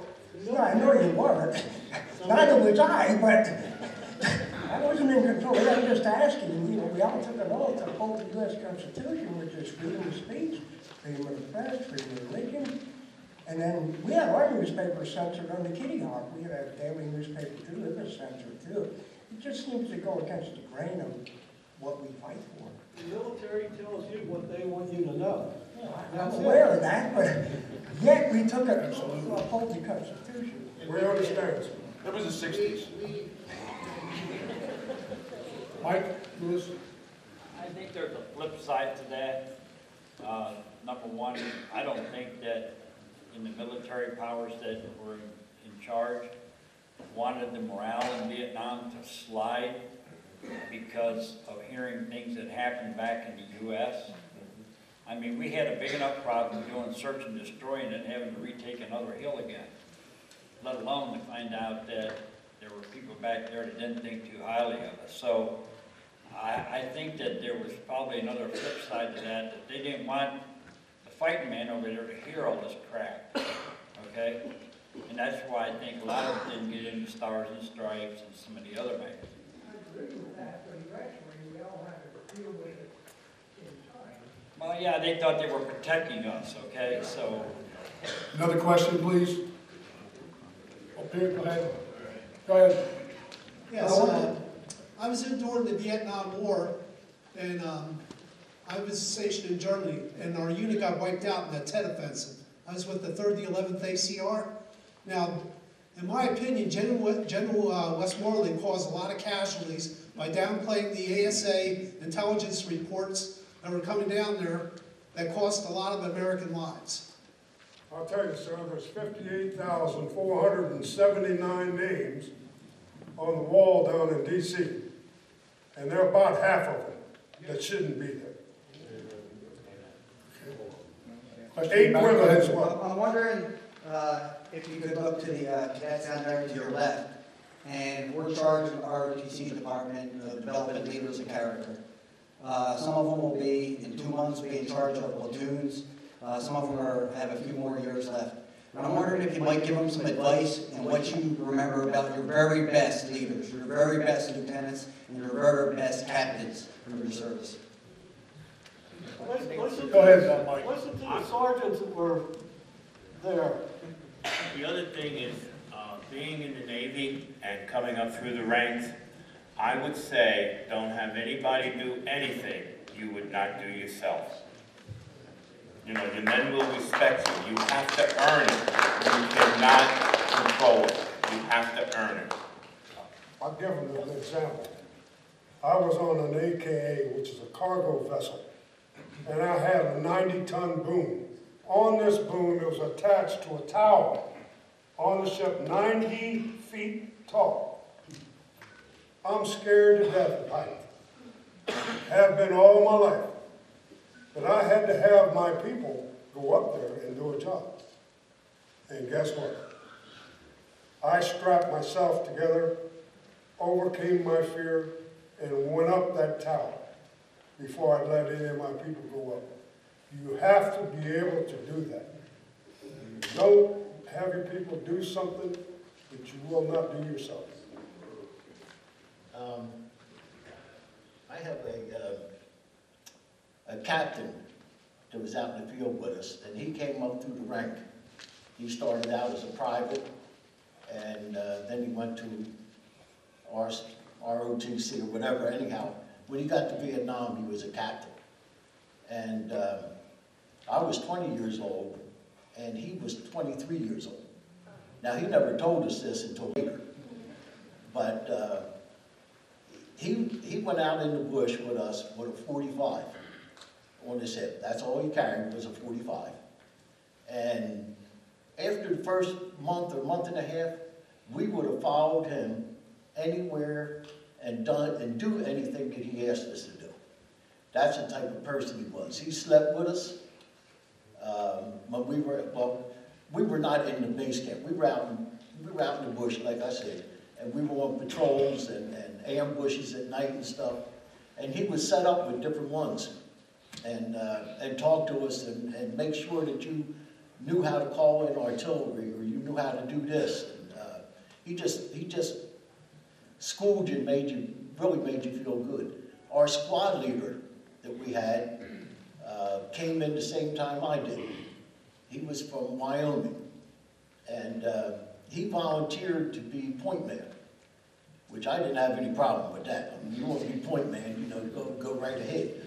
But he was good at tracking and uh, and watching things, seeing things, and uh, he he took the. And later on, he became our squad leader.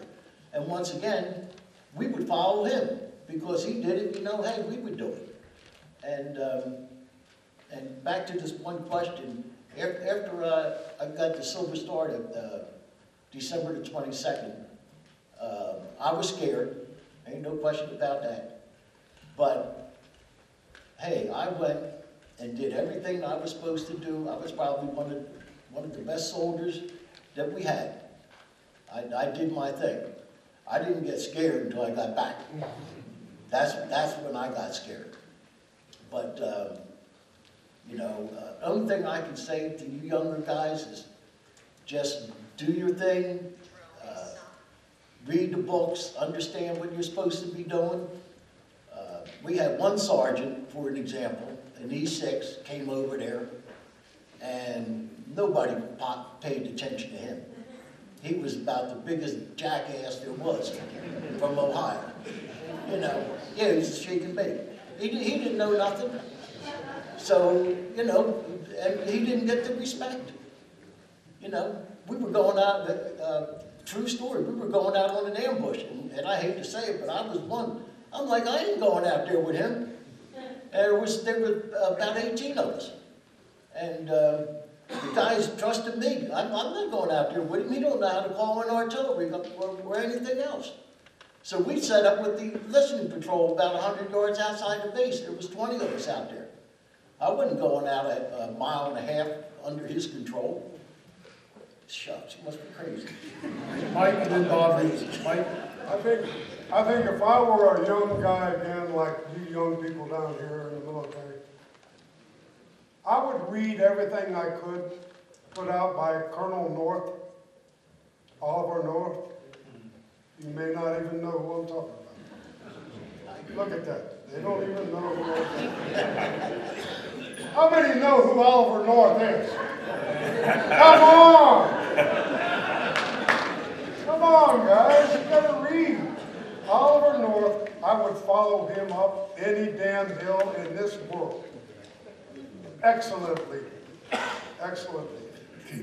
Also, lone survivor, Lieutenant Murphy. I know you know about him, right? Mm-hmm.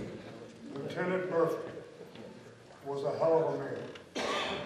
He took three in the back for his crew. Dead as a doornail. But you'll never forget his name. Medal of Honor with him. Oliver North and Murphy. Mike Mazzaro? I'm a retired E7. I trained a lot of second lieutenants.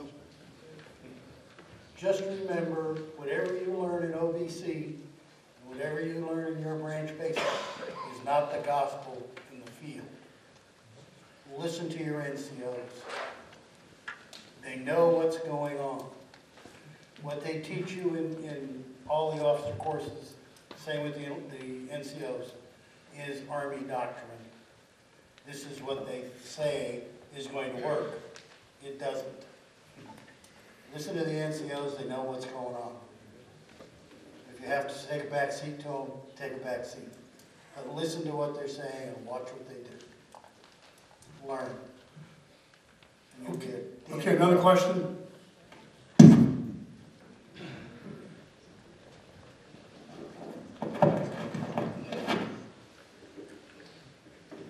Good evening, guys. Thank you very much for your service.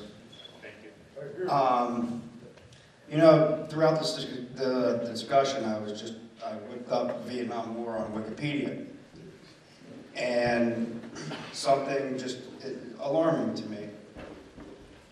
Um, you know, obviously it came to the end of the capture of Saigon in April 1975. And uh, says that uh, North and South were reunified. Um, I guess maybe that's, I look at that as um, 20 years of nothing maybe, because they were reunified. I mean, ultimately it was a, it was a civil war, right? Between the North and the South. Is that what Um, you're saying? Waste of manpower? I guess my question is, when you were deployed, when you were sent over, you had, uh, you had personal thoughts and ideas of why you were going there. How did they compare to your personal thoughts of why you were there? If a couple of you could maybe It's like, day- share. it's like day and night. In other words, when I first went to Vietnam, I thought I was going there to stop communism. And then once I got there and we had, I was in the unit and we were fighting, I realized, and, and you had to get all these, you had to call and get approval to shoot somebody, and you went back to the same place over and over again. It was like, we weren't there to win. And we realized that we were fighting not for just the United States, but fighting for ourselves, so we could go back to our loved ones alive. We realized we weren't gonna win. They didn't give us the authority to win, they didn't give us the, uh, the supplies to win. It was a bad situation, and in my unit, Mike 37, we knew that. Mike 37, by the way, in, uh, in Tet Offensive was in hand-to-hand combat. So it was, it was a, a very uh, well uh, oriented combat unit. So we realized as guys, we said, you know, we're fighting for ourselves. We're gonna go home and be with our loved ones. We knew we weren't there to win. And that kind of bothered us because our training said otherwise. Our training said we were supposed to go in and win. But it wasn't, it didn't happen that way, the politicians controlled it. And During Ed high Bob? school, during high school, I never knew what Vietnam was. I graduated in sixty-four, never heard of Vietnam. You know, it was going on, and it was kind of early, early stage, there was some advisors over there in Green Berets and stuff. Had no, I didn't have a clue, and got drafted, and really didn't think much of it, except the shock of being drafted. But the first night in basic training, the company commander got everybody together in the barracks and said, your chances of going to Vietnam are as good as anybody's. But he said, if anybody asks you where you're going, tell them Germany. And it wasn't Germany. I, I'm, uh, same as Ed, I, you know, I didn't know what Vietnam was. I was born and raised on a farm. So, uh, you know, drafted and, and I get over there, but it was probably twenty years after I got back that I really got pissed off. Because when we would go into the rubber plantations, we, we, the captain would tell us, okay, let's take a break. We could lay there and rest four or five hours, never worried about nothing. You know, and it, you know, it kind of hit me there, well, why is it that we could rest in the rubber plantations? As Soon as we walk outside of them, snipers and mortars and whatever, and then I'm, I'm back here and I, I'm, I'm reading the, or, or the news or something, and they start talking about the rubber plantations in Vietnam were owned by Firestone and B.F. Goodrich and, uh, Michelin, and I'm like, you gotta be kidding me. You mean to tell me we were over there guarding their rubber plantations? And, you know, them rubber trees, they didn't get hit. They didn't, they didn't, they didn't get water. Tho- Those rubber plantations were producing rubber through the whole time while I was there. Just the buckets of rubber going out. And that's what I was over there for. That's when I got upset.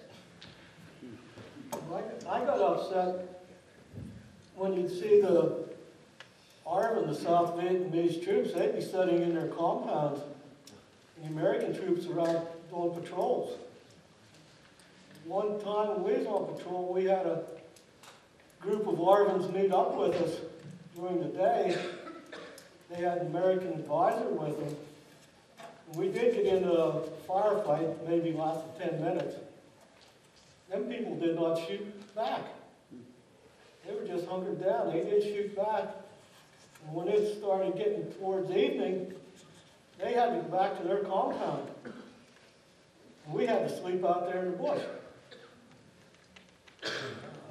And troops I was with, American troops I was with, we had no faith in the Army.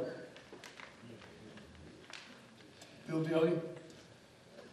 When, uh, as I said in my introduction, I, I got my draft notice in sixty-eight, and when I was fragged to go over to Southeast Asia, it, it was not my first duty assignment. But uh, I did not get into the politics up, up here as why I was over there, and why we, as a military force, were over there. And, and your question goes hand in hand with a recent uh, sermon I was listening to at, at my church.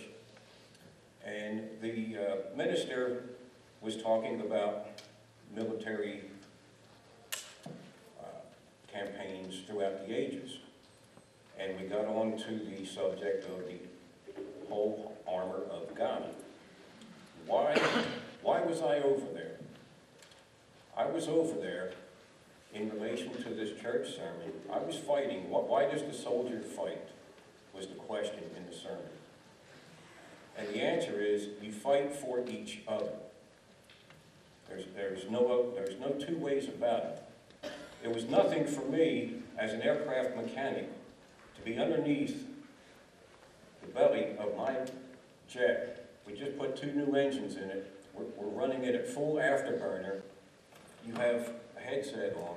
The, the noise just goes right through you. But it was nothing to work 12, 14, 16 hours at a time to get your jet ready for its next sortie. Why? Because that jet was going to go out there and support my brothers in the field, the grunts. And if I had to do it all over again, yes. If I was physically able, I would. Mike Lewis? I had a lot of mixed feelings when I first went to Vietnam. But since, since that time, I've actually met a girl who was, family was tortured by the communists. Her brother and her father both held prisoners for six to eight years after 75, before they were released. And they all were united in, in Taiwan. But those who wanted freedom, South Vietnamese who wanted the freedom that we had here in the United States, they never got it, even though we went there to try to help them obtain it. Okay? So, even though a number of the people in South Vietnam supported us, there was a lot that did not. Now, since I've had the opportunity to go with this young lady and speak in some high schools, and her story is phenomenal from what her family suffered at the hands of the communists, and everything that they had was taken from them. So she supported the Americans while we were over there more than 100%. And to this day, she probably salutes every American flag that she goes by. She's more patriotic than some of the people I see in this country. But there are, and there were, a lot of good people in South Vietnam that wanted us there to help them to get their freedom. But we weren't able to obtain it for them because of political decisions that were made, okay? So climate of the people here in this country, it's, it's a shame. I'm just thankful that now the people in this country show the support that they do to the guys that are coming back from Afghanistan and Iraq and these other conflicts. Because conflicts aren't going to go away. There's always going to be somebody that doesn't like the way we live and does not want their country to be in the freedom status like us. So there's a verse in the Bible that says there's going to be wars and always rumors of wars until the end of time. So it's not going to go away. So what do we have to do as American citizens is to be prepared, okay, and when we do have to put our foot forward and do something. And I'll be honest with you, I'm a little scared right now, other than these people that are sitting down here, of the climate of some of the other young men in this country, and seeing reports that 65% of them are unfit to serve in the military. I mean, I, I, that scares me. I don't know if it scares you, but it scares me that we might not be able to defend ourselves if we really got into all-out war. But um, I, I question a lot of patriotism sometimes. Maybe I shouldn't. But I don't see a lot of people standing up saluting the American flag when it goes by in a parade. I don't see the hand over the heart. So are we really a patriotic nation? We say we are, but are we? I mean, our actions speak louder than our words. And so, from my point of view, I guess I'm a little concerned seeing a majority of the young people, and I'm not talking about you folks here in the ROTC, God bless you. But there are some out there that could care less. As long as they're getting what they're getting, they don't care. When I was in high school, my sophomore year, I listened to a president named John F. Kennedy say, ask not what your country can do for you. Ask what you can do for your country. And if you put that question out there to a lot of the young people today, I'd be afraid of the answers you would get. I really would be afraid of the answers you would get. Okay, we had, it's 8:06, we got about 24 minutes. Uh, So what I'd like to do is anybody that hasn't asked a question, that wasn't recognized to answer, ask the question, please raise your hands and the guy, the gentleman with the uh, microphone can get to you. Let's get some new comments, new questions. Go ahead. My name is Jerry Roy Glider. I served in the United States Seabees and proud of it. I was in Vietnam, 1968 into 70. Red Beach. And, no. Close. But anyways, I am an American, and I believe in freedom. I believe in freedom for the youngsters that I've seen every day in Vietnam that didn't have no future. I was hoping to uh, see that they would have freedom uh, someday in their lives. But also, I, I, this country is the best country in the world, and we serve to keep our freedom. And that's what it's all about to me. That's the reason why I serve, because of this country's freedom. Another question, please? Gentlemen, uh, right there. Uh, I'm- I'm curious, uh, have you had much experience with the uh, ROK Marines and the uh, uh, Aussies, uh, coalition forces that were over there? What were your impressions? Uh, And what military equipment impressed you the most as it developed through the war? All we knew, all I knew about the ROKs was they were a bunch of badasses. And I can attest to that, because I was with the ROKs. They, they took no prisoners. They collect ears. They got long tables with ears on them. For every kill, they get an ear. They had good liquor too. That's So I'm told. Jim. I just wanted to mention, the ROKs, if anybody doesn't know what that stands for, it's Republic of Korea Troops. They were incredible. I remember uh, uh, one of the LZs we were at, we were next to a town that was supposed to be like almost 100% Viet Cong or Viet Cong sympathizers. We wouldn't dream of going into that town without our weapons.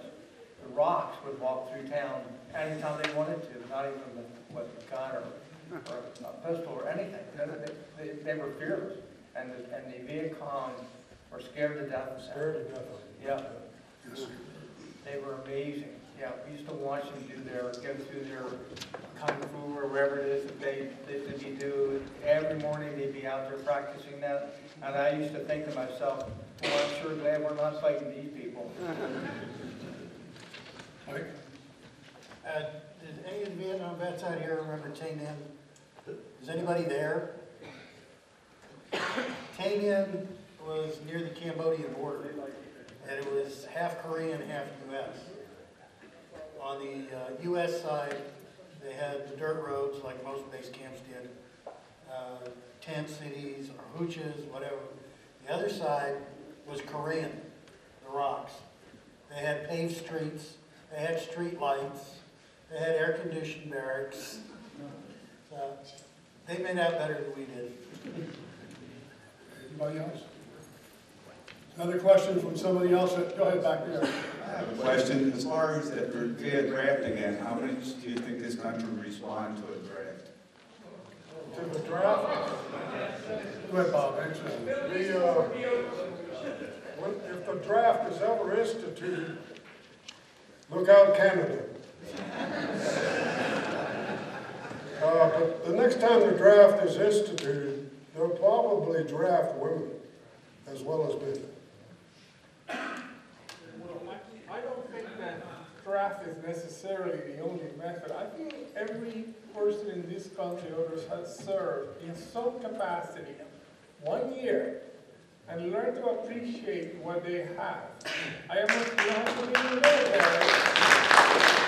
be can thank Uncle Sam for what he's done for you. Uh, From my own experience, I cannot take anything for granted. And we should all kneel every night and thank God we live in the United States.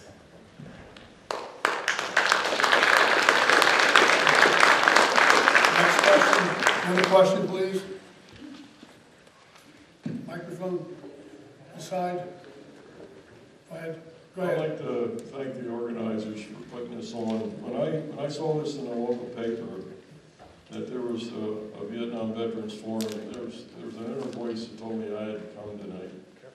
Uh, all these questions and all this discussion peels back a lot of inner feelings that, that have been inside me for a long time. And I was one that didn't know what I was going over there for. And when came back, I tried to read several books to understand it.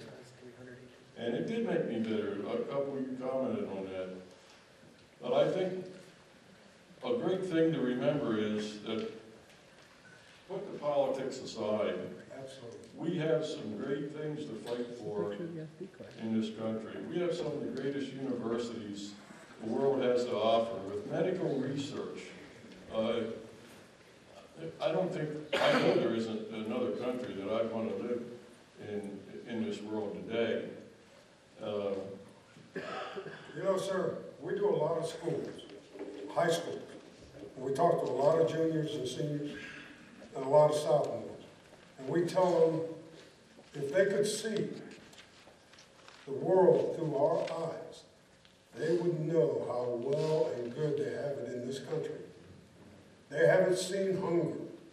They haven't seen guys or people who have gone a week or two without food. They live in a great country. You talked about the motivation when we were over there. I was on the ground. I, I carried an M60 for 10 months, and I've seen a lot of what you all were talking about up there, and I would like to talk to a few of you later, especially one in the 4th Infantry Division. I had a great friend over there that served up in Pleiku.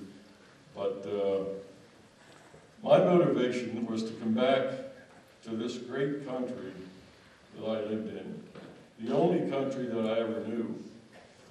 And I also read a book, uh, if you think the communists were not treacherous people, there was a book written, in fact, I, I requested the library down in Maryland to, to uh, get it as soon as it came out. It was written by Gerald Coffee. He was a POW Navy pilot, and uh, he served, he, he was a POW about the same length, uh, of time that John McCain was a, a POW. The name of the book was Beyond Survival. If if you ever have a chance, read that book and, and it'll, you'll understand a little bit better why we were fighting over there, uh, the way they tortured people and so on and so forth. But, and I'd like to thank Millersville University as well for allowing us to use their facilities. Thank you, thank you. Another question? Back there? I just have a really quick announcement for those who uh, entered in for the 50-50 raffle for the Student Veterans Association. We'll be pulling that number at 8:30, just so you guys can forget about it. Thank you. I think Another question over here? Yeah. I've had a lot of heavy conversation. This is kind of lighthearted. Coming back from Vietnam, what was one of the, other than family, of course, what was one of the first American things you were looking forward to eating or doing? Taylor's, Taylor's pork roll sandwich with good Italian roll. I want a good Italian roll. Good rule. I, uh, I have a, a great story about coming home.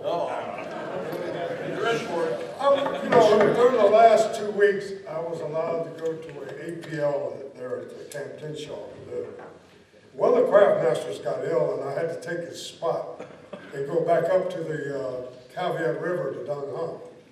So I only got about six days on the APL to get ready to come home. Well, on the way home, first of all, you get to the airport there in Da Nang, and this big, beautiful Continental jet rolls in. And it's one of the biggest aircraft that we had at that time, which was a 707. Yeah, 707. Anyway, it holds about 250 people. When we got on the air, aircraft, the pilot said, everybody strap in because I'm going to have complete control of this aircraft and we're going to do a couple of strange maneuvers. I said, oh, Lord. I said, I've been in here 14 months and this pilot's going to kill me on the way home.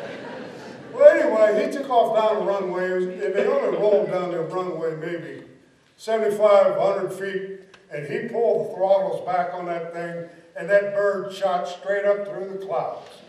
When we got up on top, and I looked around, I had an aisle seat. There was ten of the most beautiful women I have ever seen in my life. And they had on mini skirts. Now, you know, we're lean, mean, fighting men, you know. I'm only 27 years old. So we hadn't heard of miniskirts. So consequently, I got a very bad back because of like this. I was like this all the way from Da Nang, Vietnam to Pearl Harbor, Hawaii. I could have sold that seat for 50 bucks a pop. But I declined. It was a great, great trip back.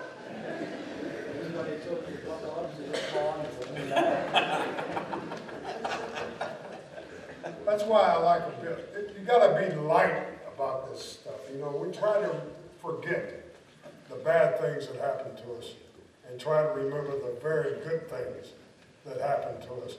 And you young people over here, man, you've got a hell of a future if you just apply yourself. One of the things I wanted to do when I got home was buy a brand new car. I got home on Saturday of Labor Day weekend, Wednesday, all Wednesday after Labor Day, I have a brand new sixty-nine Camaro Super Sport.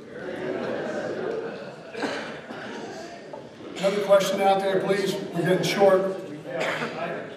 Go ahead, over here, go ahead. I got an observation and I've got a question. Uh, the observation is I'd like you to revisit this concept, or at least this term PTSD. Last word being a disorder. Big Bob's heard me complain about this over and over again. Post-traumatic stress is a war wound. Schizophrenia is a disorder. If you have post-traumatic stress, you've suffered a wound in war just as if you got hit by a bullet or a shrapnel.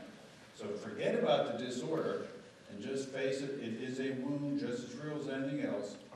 And, uh, you know, any stigma that goes with a disorder should go by the wayside.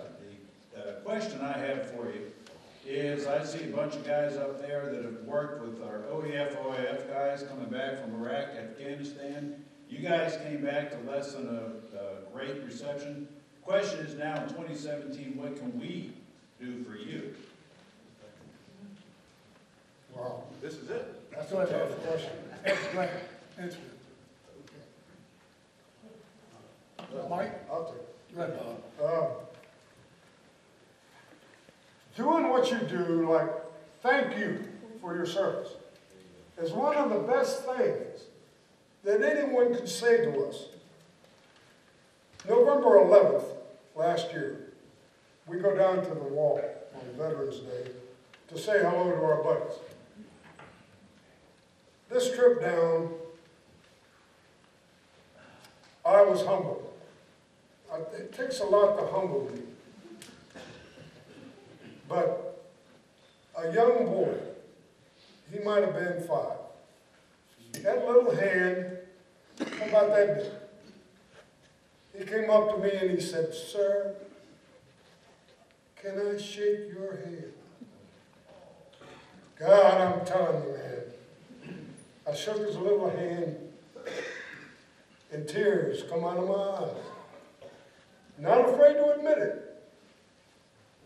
Because when I left my son and my daughter at the airport, when I left for Vietnam, they were that size.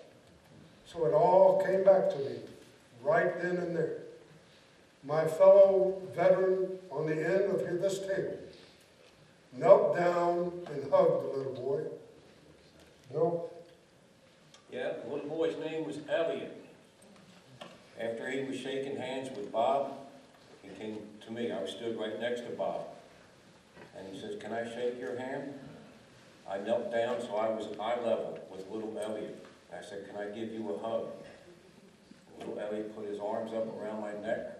I put my arms around his back. And about a thousand and one cameras started going off. Yeah. And I too was moved to tears. That that was a welcome home. Dick Mowry and uh, Ken Ford, would you answer that question? Since you guys haven't uh, answered a lot of questions. Um, uh, I don't know. How I want to answer it. There's a lot of things that could be done. And it's gonna take some good people to do it. Uh, what we're seeing now in the government is, all it's politics. They're not helping the veterans. They're not doing anything for military. All they care about is each other. I don't, I don't know how to, um, by myself to do anything about it. But together, we can, uh, put people in there that are concerned with the way we should be going, not the way we are now. So I think, uh, it would be good if each and every one of you write your congressman. Tell them what you saw tonight here at, uh, this forum, what, uh, the veterans think. And hopefully it'll get better. Yeah, I think, uh, what you can do for us, and you said the same thing, but, uh, let's say on a, a per- more personal note from everybody, is keep on thanking veterans. Don't, don't be afraid if you go to a cemetery, don't be afraid to stop for a second. You don't have to be a Vietnam veteran. Just stop for a second and say thank you. There's plenty of, there's plenty of cemeteries out there, there's plenty of tombstones out there, a lot of them are marked with flags, a lot of them are marked with plaques on the back of the war they were in. Don't be afraid to say thank you. And that, that helps a lot, it really does. Like I say, I, I, I know there's people you say, thank you for your service, but, yeah, big deal. Nah, it's not the case. Saying thank you to some, a veteran is, is, to me, is one of the greatest things you can do. Because you finally say, oh, yes, we did something, we did something good, even though a lot of people think we did it bad, we did do something good. So don't be afraid to say thank you. That's, to me, that's, that's big. Ed's last comment on this question? Uh, Just like he said, uh, it happened to me a couple times in veterans things that happened years and years ago. The first time I went down the wall, I was really out of it for a while. And I had an event one time, and we were standing here inside of a church, and it was, a- it was, a- it was, wasn't a religious service, it was just a service honoring veterans. And I was standing there, I wasn't in my uniform, I had my fatigue shirt on with my, some patches and some ribbons and stuff When I was standing there, and, and I just, somebody out of the corner of my eye, it was a woman that walked over to me, middle age, and she says, can I give you a hug? And I said, "Uh, okay. So she gave me a hug, and she said, thank you, and then just walked away. I had no idea, what- that was, a- that hit me.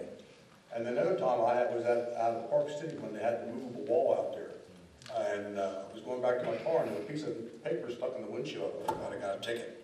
Or somebody hit my car. And I pulled out, and all it said was, thank you. I have no idea what came, but I still have that note today. And that, that, that, to me, that meant a lot. Another question, we have about five minutes left.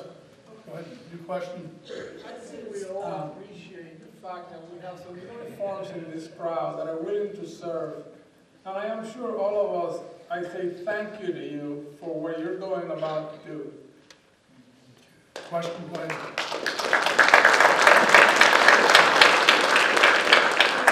More of a comment, um, I'm a good friend of Ed Bookman's, I have a lot of respect for him, call him daddy. Um, I was born in nineteen sixty-four and have some pretty strong memories of in second, third grade of brothers and sisters of friends of mine going to war, didn't know too much about Vietnam then. Uh, my son was in boot camp during 9/11 served in Iraq and Afghanistan. And I want to thank you because when he was there, he was supported. And I can't imagine, I think I might have killed somebody if they said anything about my baby when he was over there. And that's it. Thank you. God bless you. God bless you, thank you. One more question, one more, Charlie, one more. I have one here. One question. Go ahead. I go, I go to the VA here in, up in Lebanon, and I've had nothing but good experiences up there. Um, I just want to know if y'all up there felt the same way, and if so, why do you think that is? Like, why, why do we have it so good, and I hear about all these, you know, horror stories out in Arizona and everything? Well, I- I'll answer that. I think in the last 15 years, things have really changed with the VA. I know today, um, I cannot say anything bad about the VA, but 20 years ago, I could. But the Vietnam veterans have really fought to make it better, and, and uh, we have called our congressmen and our senators, and they know that we vote, and um, they've made some changes. And I expect them to get better, not worse. Jim? I just, I know there's been a lot of horror stories about the VA centers throughout the United States, but I can tell you, having been to the Camp Hill, York, and Lancaster uh, centers, and as well as the Lebanon VA Hospital, I can't say enough about them. They've been wonderful for me. Um, I can tell you, I, I know that the Lebanon VA Hospital is ranked among the top uh, 10, I think, VA hospitals in the United States. Those people up there are absolutely amazing. I can't say enough about them. It's just been, my experience with them has just been incredible. Last comment, Bill, on this one. Okay, uh, we here in Lancaster County are very fortunate. We- We have one of the finest VA service officers that services the veterans of Lancaster County, Dan Tooth, and his two assistants, Jen and Jody. All three are military veterans. And for any veterans listening to me right now, if, if you have any issues at all, please don't hesitate. Take your 214 with you, go down, see Dan Tooth or his assistants. They will get you any and all assistance that you need and that you are entitled to. They do go the extra mile. I am living proof. They, they helped me with my PTSD issues, and just under a year ago, I, my uh, service connection disability rating was up to seventy percent. And I, I suffered with, with my issues to a certain extent for decades.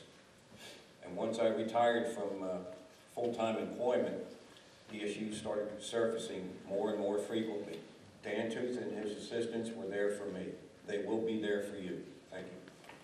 Okay, that ends our Q and A period. Uh, For the next hour, what you can do is you can peruse and look at the artifacts, visit with any panelists, wait, visit with any panelists out here you want to talk to, This is the veterans organizations out there in the in the hallway, and uh, you can see what's going on. Yes, last comment, that's it, last one. Before everybody gets up, um, you know, we have a veterans court in Lancaster County, and we need mentors to help these young veterans that are coming back from Iraq and Afghanistan that have gotten into trouble.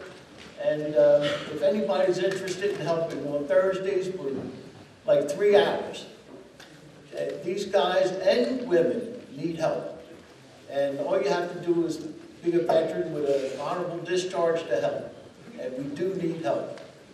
So if anybody's interested, please see me and I'll get your information and let you volunteer.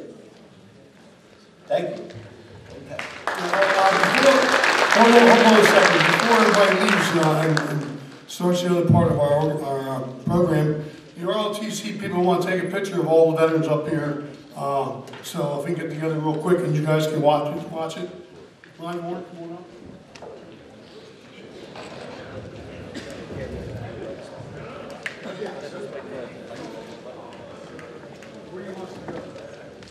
Take care. Thank you very much. Thank you for coming. The reason I couldn't kneel is his knees are bad. You just tell him it's when he's in his uniform. Oh, he was little Bob and now he's big Bob, how does it get into his uniform? Went out to walk through the, on the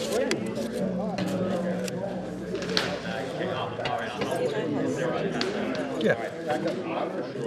I have, don't.